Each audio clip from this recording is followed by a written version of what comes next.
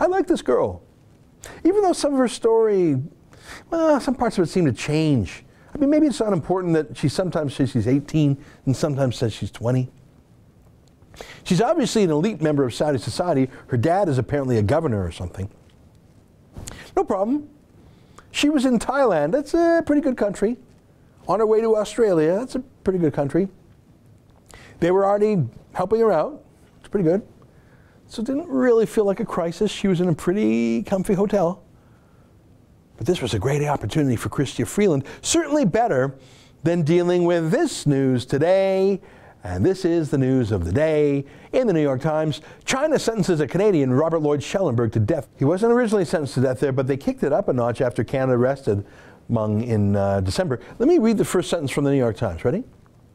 China's diplomatic clash with Canada escalated sharply on Monday, that's today, when a Chinese court sentenced a Canadian to death for a drug smuggling at a one day retrial ordered weeks after a Chinese executive's arrest in, China, in Canada.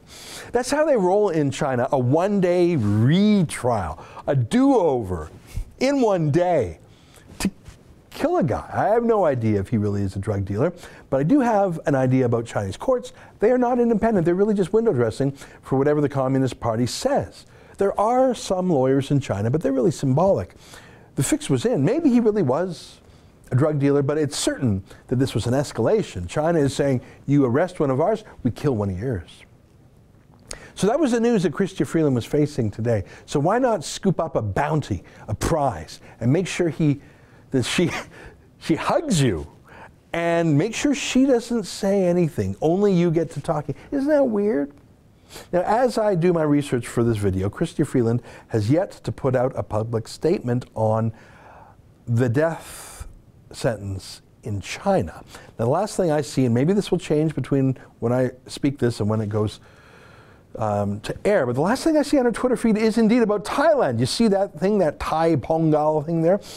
Um, that's just typical political pandering to some Thai ethnic festival of some sort. Um, so I scrolled back a few days and uh, I saw nothing about this death sentence. I saw this tweet uh, by her a few days ago.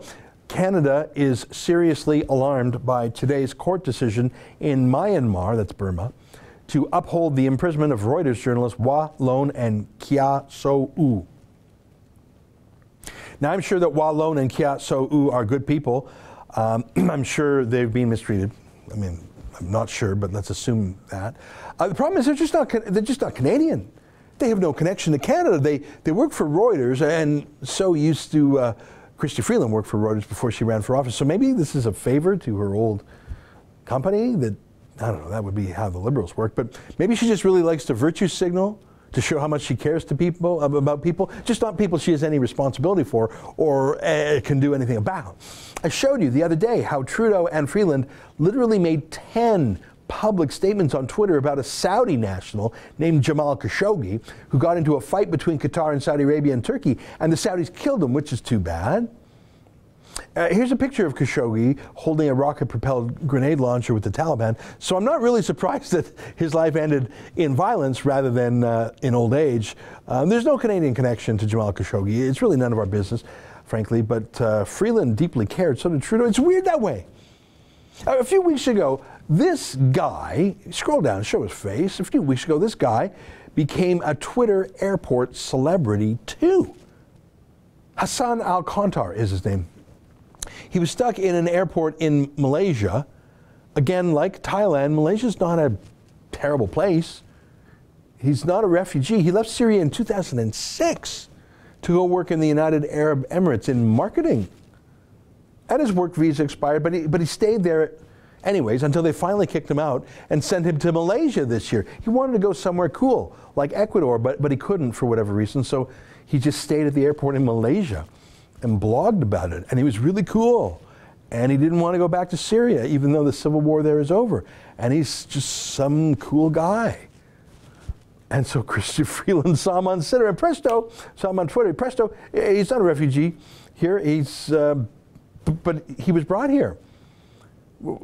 He's, they turned him into a refugee, but he's a refugee from what?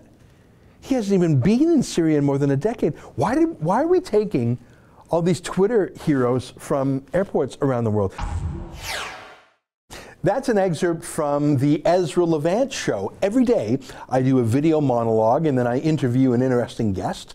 And then I end by reading my hate mail. But you've got to subscribe to it, which you can do at therebel.media slash shows.